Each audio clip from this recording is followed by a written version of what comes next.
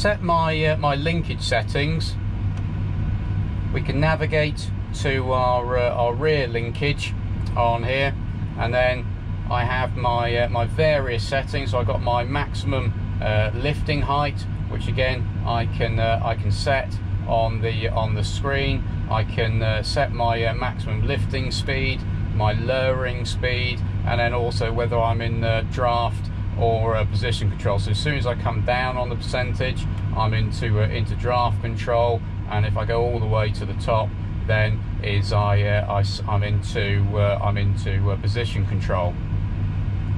Down on the on the armrest then is I got uh, two uh, two buttons here. I can uh, unlock the uh, the linkage. And then for here I have my uh, my depth wheel for the uh, for the linkage. If I roll it back towards me then is I'm I'm raising the linkage and if I roll it forwards I'm going going deeper with the linkage. And then this control module here then is doing the uh, lifting and lowering so I can click it all the way back and that will lift my linkage all the way uh, all the way up. Or if I click it all the way uh, forwards it will uh, it will set my uh, my linkage to be at the uh, at the height of my of wherever I've set my my position wheel and we see here then is the the orange triangle then represents where my where my working depth is going to uh, going to be. We have the same control then for the uh, for the front linkage. So in this option of this tractor here is I got comfort front linkage with position control. So I have my depth wheel on this side, and again my uh, my linear control then for the uh, for the linkage. But the good thing is I've got proportional control over my uh, over my rear linkage. So for hooking up onto implements, it is uh, it's nice and uh, nice and simple. What I can do with my linkage is I can set a uh, a particular position that I want to uh, that I want to work to. So in this situation there, I've put uh, put a memorized position up at uh, up at number uh, up at number three. And what I can do is I could set my uh, my working depth to to match up with with that working position. And if I lift my linkage up, it's gone all the way to the to the top. And then obviously when I click down, it will it will settle on the, on this position here that we've got for, for set as our, our memory. Now if I want to work deeper, I can come onto my depth wheel and I can scroll forwards, but then to, uh, to get it to, uh, to jump back up to that memorized position is I can press down, press down again, and it will line then my uh, two, uh, two uh, arrows to, together. Firstly then if I go, decided I wanted to work shallower, I've raised my implement on the depth wheel. If I just do a single click down it will line up go back to my memorized position and and set the working depth. Now there is a button on the uh, side of the armrest which does that same function. So if I go deeper again is I can uh, press on this side button do the double press there and it will uh, raise the linkage back to my preferred working depth. Or if I go uh, go shallower with the implement if I just do the single press there it lines it back up with uh, with our control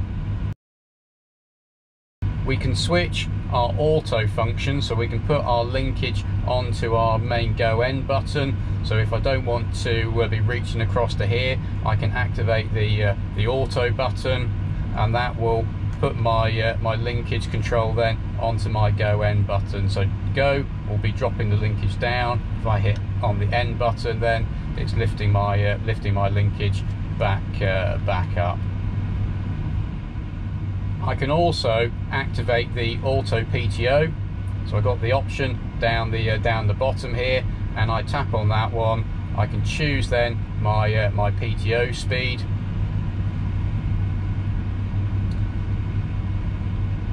Activate it to uh, to set it gold. And again is uh, when I uh, when I drop my linkage when I hit the go button my linkage will come down and my PTO will uh, will kick in So when I drop my uh, drop my linkage down, as we can see then the uh, the PTO has uh, has activated on the uh, tractor, and if I hit the uh, hit the end button, it's lifting my linkage and uh, and stops the stops the PTO. Now I can alter as to when the PTO starts and stops. Is I can come into my settings. I can come across to to this option here, and then is I have these two sliders one then to set when my PTO will uh, be switched on and then the other one will show where the uh, where the PTO will be switched off and again I can uh, I can alter these uh, these sliders up and uh, up and down to uh, to suit.